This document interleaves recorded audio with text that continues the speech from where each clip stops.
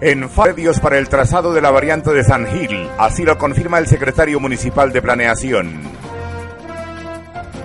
Medida de aseguramiento no privativa de la libertad ordenó juez contra un ciudadano sindicado del delito de extorsión. Este sábado primero de abril se llevará a cabo una jornada de vacunas varilla. El próximo miércoles 5 de abril será suspendido el servicio de agua potable para un sector de Ciudad Blanca segunda etapa.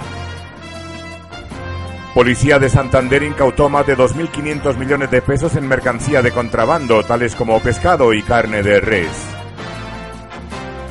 Este fin de semana en el supermercado Cajazán habrá jornada de descuentos especiales.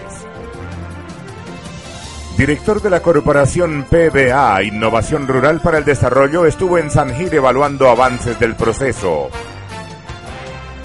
Hoy en nuestro recorrido informativo, a pesar de la huelga, todavía no hay respuesta para las madres comunitarias. Así lo expresan sus voceras en el municipio de Socorro y Asamblea de Santander presentará propuesta para salvar el parque acuático Acualago.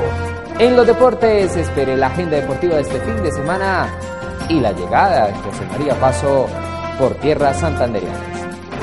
Y en cultura y entretenimiento, todos los detalles sobre los colombianos que tendrán la oportunidad de representar al país en Egipto. Informativo Gil con Caterine Zafra y Javier Sanabria Vázquez. Dirige José Antonio Ochoa Peñalosa.